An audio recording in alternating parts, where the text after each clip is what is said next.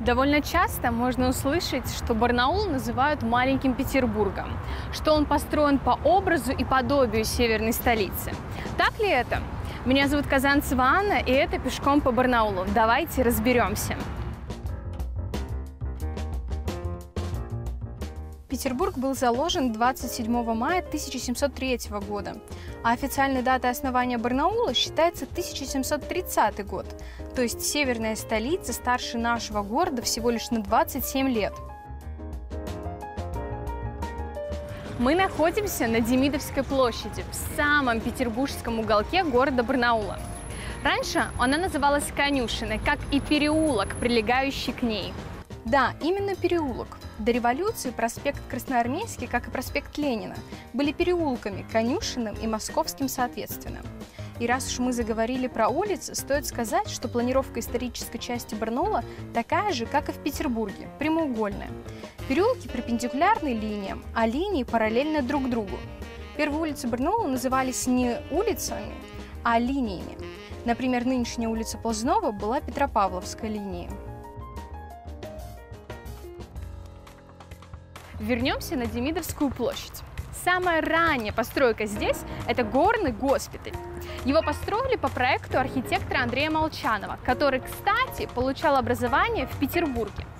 Здание строили 25 лет, с 1819 по 1845 год.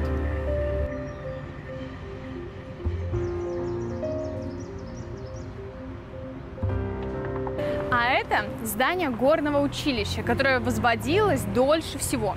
Его строительство началось в 1828 году с двух тысяч лиственных свай, которые вбили в землю для каркаса будущего фундамента, так как местность была болотистая, а неподалеку так вообще находилась плотина. Проект за более чем 30 лет строительства был пересмотрен четырьмя разными архитекторами. В 1861 году строительство горного училища окончательно завершилось, и Демидовская площадь обрела завершенный вид.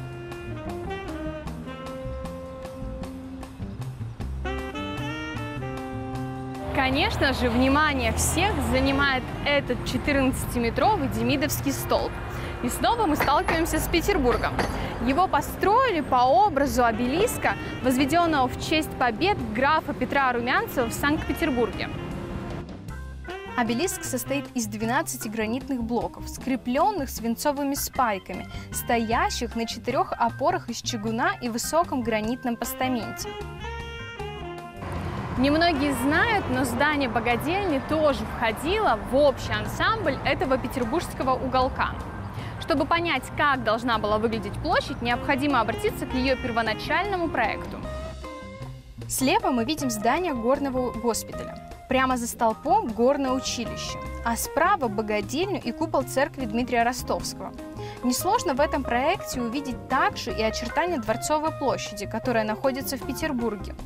Со временем проспект Красноармейский отрезал от общего архитектурного ансамбля здание богадельни, которое, к слову, изначально было одноэтажным, поэтому церковь Дмитрия Ростовского виднелась сильнее на исторических фотографиях.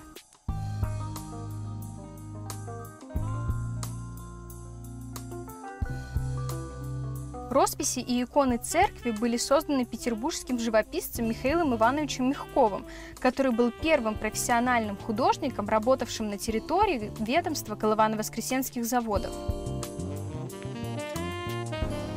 Также в Барнауле, как и в Петербурге, проживали очень высокообразованные люди, которые имели тягу ко всему прекрасному, о чем свидетельствуют записки многих европейских путешественников, побывавших в Барнауле. Немецкий зоолог Альфред Брем писал в своих дневниках, Барнаул представляет главный центр умственной жизни в Сибири. Общественная жизнь здесь, по-видимому, все-таки довольно оживлена, о чем свидетельствует уже 30 фортепиано, имеющихся в Барнауле, и красивое убранство многих садов следующий раз, гуляя по старой части города, вспомните, как Барнаулом восхищались многие европейские путешественники и начните изучать историю нашего города, которая не менее интересна, чем Петербурга. С вами была экскурсовод Казанцева Анна и пешком по Барнаулу. До новых познавательных встреч!